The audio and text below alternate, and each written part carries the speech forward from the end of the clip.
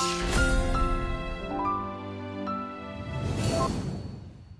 ชมป์สองสมัยของเราพี่ตุ๋มจากนครราชสีมานะครับหนี่ขายฝากที่ดินของพ่อที่กู้มาใช้หนี้ที่โดนโกง เป็นหนี้2 0 0แสนบาท ตอนนี้ลดหนี้ไปได้ 20,000 เหลือ 1 8 0 0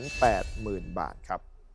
อีกหนึ่งคนสู้ชีวิตน้องออฟจากอ่างทองนะครับหนี้กองทุนหมู่บ้านที่พ่อกู้มาลงทุนเลี้ยงกบ เป็นหนี้30,000 บาทหนึ่งคนสู้ชีวิต คนไหนจะได้โอกาสเข้าไปหาไม่หมดหนี้ครับ จะเป็นแชมป์เก่าของเราหรือคนสู้ชีวิตคนใหม่ ผมจะขอหนึ่งคะแนนแรกจากพิธาถ้าพร้อมแล้วเชิญครับ ก็อยากจะให้กำลังใจทั้งสองท่านนะคะ ทั้งคุณตุ๋มแล้วก็น้องออฟนะครับ เมื่อเกิดมาแล้วมีลมหายใจอยู่ต้องสู้ต่อไปอะสำหรับเรื่องของการร้องเพลงก็ต้องตัดสินกัน และขอเลือกค่ะ คะแนนแรกจากคณะกรรมการนะครับ คนสู้ชีวิตคนไหนจะได้รับมันไปหนึ่งคะแนนแรกนะครับ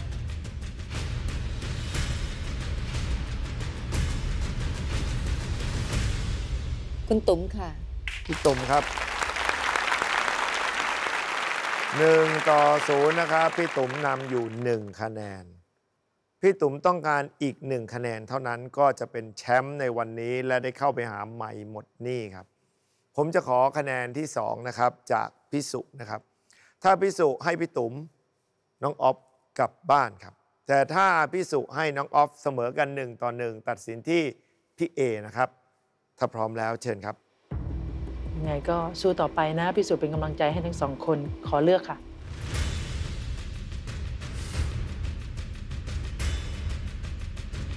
คะแนนที่ 2 นี้นะครับ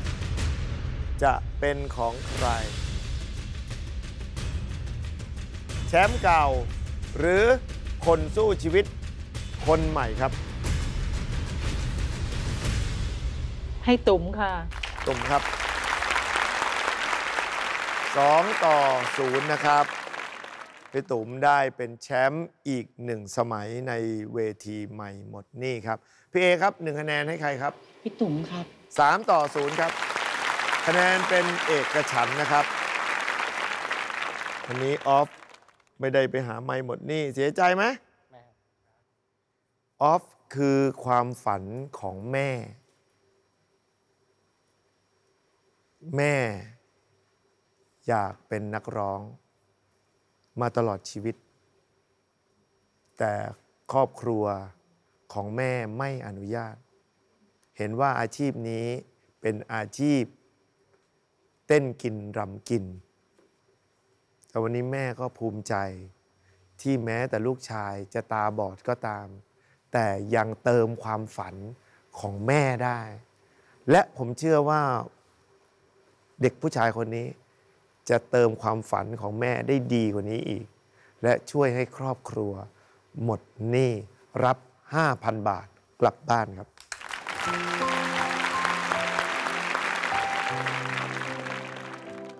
ขอชื่นชมหัวใจกตัญญูของออฟ ที่อยากหมดหนี้เพื่อพ่อและแม่ เชื่อว่าในไม่ช้า ความสำเร็จต้องเป็นของนักสู้คนนี้อย่างแน่นอน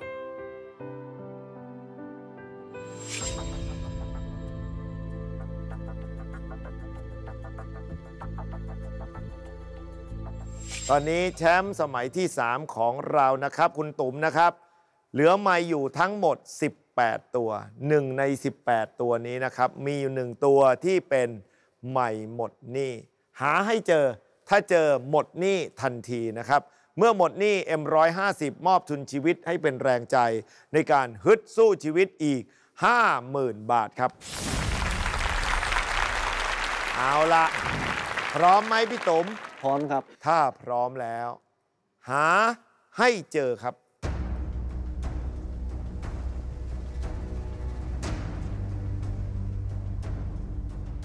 1 ถึง 18 นะครับ หาให้เจอมีไม่หมดหนี้อยู่ 1 ตัวหนี้2 0 0แสนจะหมดหรือไม่นะครับ ไม่รู้ตัวไหนนะครับ เอาละจะปรึกษาไหม กับแม่กับอะไรจะปรึกษาไหม เดี๋ยวขอเลือกเองแล้วกันคขรับ อเลือกเองนะครับครับ มาพพี่ตุ๋มเลือกใหม่ หมายเลขเลขสามครับเลขสามตัวนี้นะฮะ ครับ เพราะอะไรถึงเป็นหมายเลขสามครับ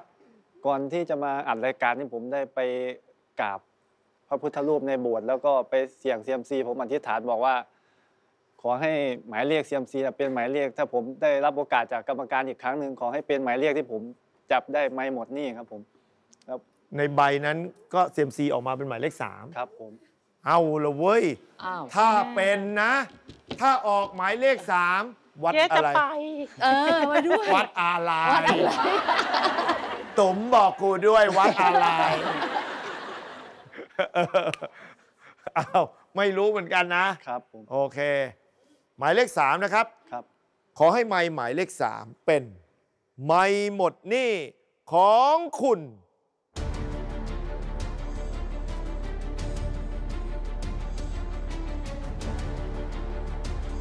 ทำไมหมายเลขสามเป็นไม่หมดหนี้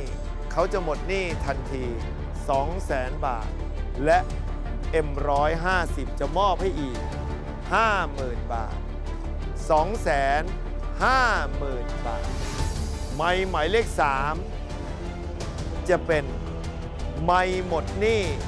เหมือนที่เขาเซียมซีหรือไม่ หมดหนี้ครับ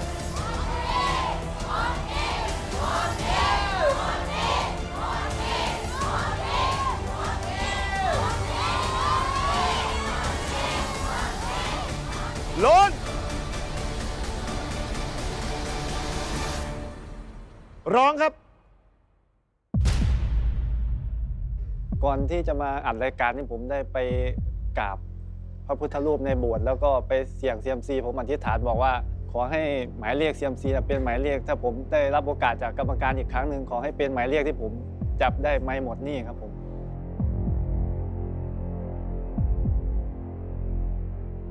ร้องครับ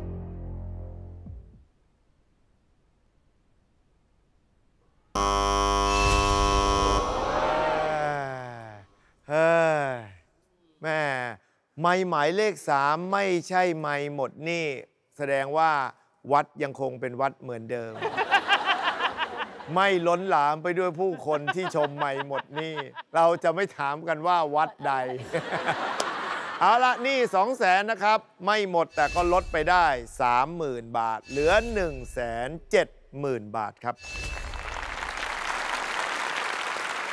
สรุป M150 ยังไม่ได้แจกนะครับ รอหมดหนี้ก่อนนะครับ ไปดูนะฮะว่าเป็นหมายเลขอะไรนะครับสิบเอ็ดสิบสามสิบเอ็ด13 11แปด8หมายเลขสิบเอ็ดสิบสามสิบห้าสิบเจ็ดสิบเอ็ดเจ๊ถูกอุ้ยเจ๊ถูก โอ้ยอีกแล้วโอ้อะเจ๊แม่นว่ะโอ้11 นี่มีในใจมั้งป่ะ ไม่มีเพราะครั้งที่แล้วเลือกไปแล้วครับ อ๋อกลับมาอีกแล้ว เดี๋ยวก่อนไม่ถูกได้ยังไง คุณดู สิบเอ็ดสิบสามสิบห้าสิบเอ็ดสิบสามสิบห้าสิบเจ็ดเออ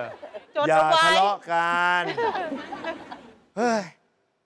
เอาละถ้าคุณมีหนี่แล้วมีเสียงร้องมาที่นี่ครับ เวทีชีวิตแห่งนี้ ทุกวันจันทร์ถึงพฤหัสทางช่อง Workpoint หมายเลข 23จำไว้นะครับ คุณมีหนี่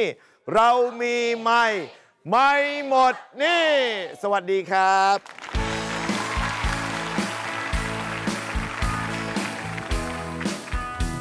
ผู้หญิงคนนี้เฉียดตายมาแล้วถึง 3 ครั้งด้วยกัน หมดลูกถึงขั้นแตกเลย แตกโป๊ะหมายถึงว่าไส้ออกมาเลยเหรอ วายเขาหลับในแล้วรถมันจะประสานงากัน สุดท้ายไม่ไหวจริง ๆ โดนแก๊งปาหิน เคลี้ยงหินใส่กระจก นั่นคือปัญหาของป้าควรว่าพอเลิก และก็ตัดสินใจเลยว่า ฉันจะทำเกษตรพอเพียง มีความรู้สึกว่าตัวเองทำแล้วคือเราเผื่อแผ่คนอื่น ความสุขมันมันมันได้เต็มเต็ม